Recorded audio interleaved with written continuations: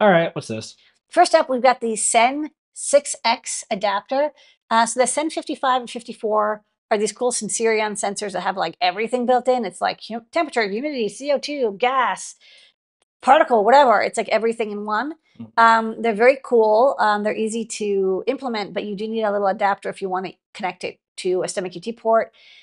Uh, the new Sen 66, I think, also adds carbon monoxide. I don't remember. It adds something else, maybe nitrogen sensing. Maybe it has better CO2. I don't remember exactly what the deal is.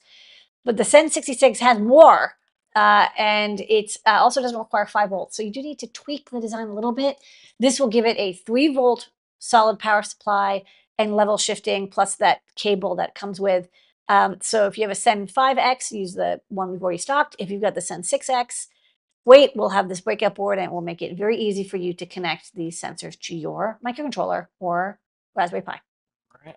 Here is the next thing. What is this? Okay, so I have had this frustration where we have these devices that use USB C for power, but they use a USB A to C converter cable because they don't have the proper PD um, resistors, which I think was I think we all decided was a mistake by the USB consortium. They should have just like said, what if people forget him? Like it should still work. But anyways, it doesn't. So it doesn't work if you plug it into like a Mac. It doesn't work if you plug it into like a proper USB PD power supply. Um, you know, I think a lot of people have, have devices like this. So this is a little like doohickey that has like you can't see the socket port. It's like a sunken port, but it's like halfway through.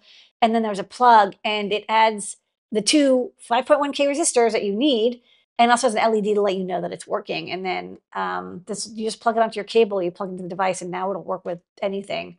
So you know, instead of saving like they saved like 0.002 cents by not having these resistors, well, we'll have a product for you. Okay. I wish they'd not made the mistake though. Top secret. That was it.